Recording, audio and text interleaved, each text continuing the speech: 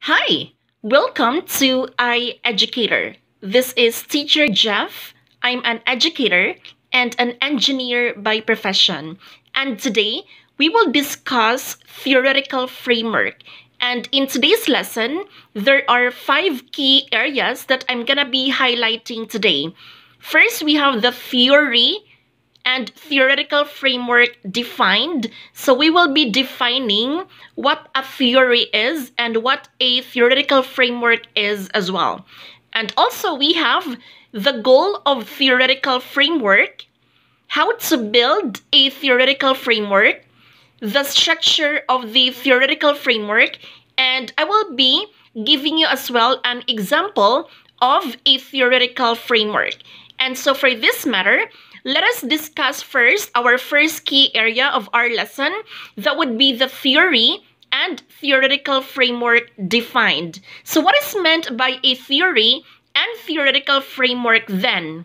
If we say theory, it is developed by researchers to explain phenomena, draw connections, and make predictions. And in many cases, to challenge and extend existing knowledge within the limits of critical bounding assumptions. And if we say theoretical framework, it explains the theories that support your research, showing that in your work is grounded in established ideas. Now, what do we mean by this? In other words, uh, your theoretical framework introduces and describes the theory that explains why the research problem under study exists. And aside from that, theoretical framework is also a researcher-made framework in the form of a diagram which explains the scope and range of a concept or construct discussed in combination of two or more theories used in the study. And take note that your theoretical framework should appear after the first page of your theoretical background. Again, I would like to reiterate, your theoretical framework should appear after the first page of your theoretical background. Alright, so that ends our first discussion on the first key area of our uh, lesson for today, which is the definition of theory and theoretical framework. And so for that matter, let us now move on to our second key area, and that will be the goal of theoretical framework. So what do you think is the goal of a theoretical framework? Well, the goal of theoretical framework is to present and explain theories and models other researchers have already developed. Now, there may be many different theories about your topic, so the theoretical framework also involves evaluating, comparing, and selecting the most relevant ones. And by framing your research within a clearly defined field, you make the reader aware of the assumptions that inform your approach, showing the rationale behind your choices. So this part of your dissertation or thesis lays the foundations that will support your analysis, helping you interpret your results and make broader generalization. Alright, so the next key area of our lesson that would be how to build a theoretical framework. Now, in order to do that, we need to strictly follow the three steps in creating a theoretical framework, okay? So what is our first step then? Now, the very first step in creating our theoretical framework, that would be to identify your key concepts. What do you mean by identifying your key concepts? Well, the first step is to actually pick out, okay? So we need to pick out the key terms from your problem statement and research questions. Now, concepts often have multiple definitions, correct? Now, so the theoretical framework involves clearly defining what you mean by each term. Now, in order for us to uh, better understand how to identify your key concepts, now let me give you an example.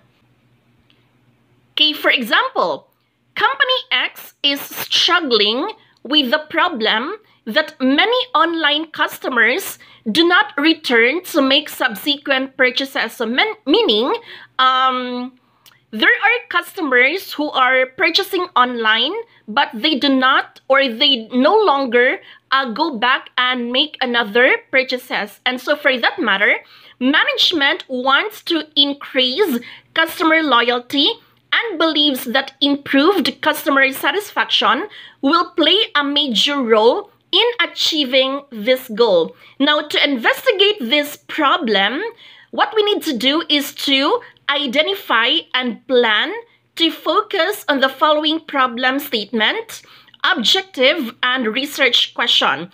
Okay, so based on our given example, what do you think is our problem here? Okay, based on our example given, our problem is clearly about many online customers do not return to make subsequent purchases, right? So what's the objective of the firm? The objective is to increase customer loyalty. So based on our problem and objective, our research question may be, how can the satisfaction of company X's online customers be improved in order to increase customer loyalty. So what do you think are our key concepts here then? Well, the concepts of customer loyalty and customer satisfaction as well are clearly central to this particular study. And so for that matter, the theoretical framework will define these concepts and discuss theories about the relationship between them, okay? The second step in creating a theoretical framework that would be to evaluate and explain relevant theories. So we need to select the most important theory or theories related to your key concepts. So by conducting a thorough literature review, we can determine how other researchers have defined and drawn connections between these key concepts which we had identified. So as you write your theoretical framework, what you do is to is to aim to compare and critically evaluate the approaches that different authors have proposed. Now, after discussing different models and theories, you establish the definitions that best fit your research and then justify why this is the case. So, in more complex research projects, you might combine theories from different fields to build your own unique framework. And make sure to mention the most important theory. Again, you need to uh, mention the most important theory, like I said earlier, related to your key concepts. And if there is a well-established theory or model, okay, that you don't want to apply to your own research, then explain why it isn't suitable for your purposes.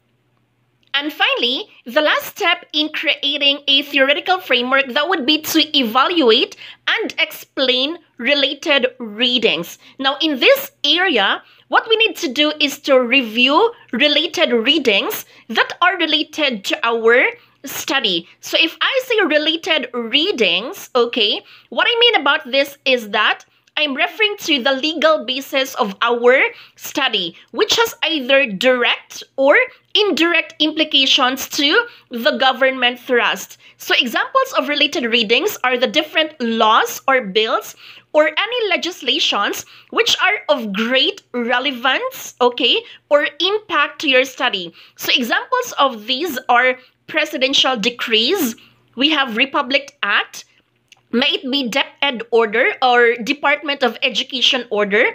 We have memorandum circulars, etc. All right?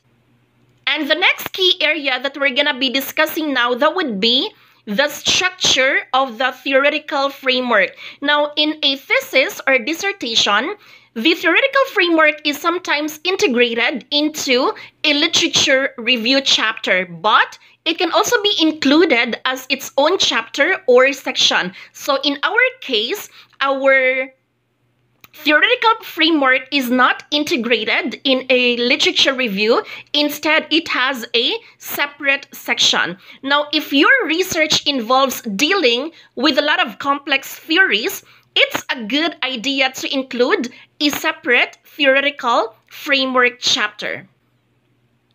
And finally, the last key area that we're going to be discussing now, that would be an example of a theoretical framework. So right now, at this point in time, we will now create a theoretical framework. So we will be applying the three steps in creating a theoretical framework. Now, before creating our theoretical framework, last time, uh, we discussed statement of the problem, correct? And of course, uh, this was the uh, title that was given as an example. So, so if you haven't watched uh, the discussion and the statement of the problem, um, I have included that one in our uh, description box below. So please uh, go to that link first in order for you to better understand what a theoretical uh, framework is, okay? So our title before, uh, that was the impact of parental involvement towards the literacy and numeracy skills of the kindergarten learners. So in order to create our theoretical framework, let us revisit first our steps, okay? So take note that our first step is to identify our key concept. Now, based on our research title given, we have already identified last time our basic key concepts. When I say basic key concepts, um, I'm referring to the different variables of our study. And what is the difference again between independent and dependent variable? If we say independent variable, this refers to our cause. So an, in an experiment, this is the variable that is manipulated or controlled by the investigator. On the other hand, if we say dependent variable, this refers to our effect. And in an experiment, it is the variable that the investigator measures to determine the effect of the independent variable. So last time, we had already identified our independent and dependent variables. So we had identified parental involvement as our independent variable or the cause and literacy and numeracy skills as our independent variables or the effects. For example, um, why is parental involvement the cause? Because if we ask ourselves, um, does it necessarily mean that if your parents, okay, are greatly involved with you as your child, as their child rather, then would it mean that you will have a high literacy and numeracy skills? Okay, so these are some of the many considerations that we need to identify for this particular study. So the second step in creating or constructing a theoretical framework that would be to evaluate and explain relevant theories. And after having evaluated and explained relevant theories, you need to select the most important theory or theories related to your key concepts. So in doing that, so as you can see, this is an example of our theoretical uh, background, okay, or theoretical framework. In my left side, this is where our theory should be located, okay? And connected to your theory is your uh, related readings. And your related readings, like I said earlier, this is gonna be your legal basis, okay? The legal basis of your study, okay? So there should be either direct or indirect implication to the government thrusts, okay? And below that will be the discussion of your independent variable, all right? And connected to your independent variable, that will be the discussions of your dependent variables, just in case you have two dependent variables.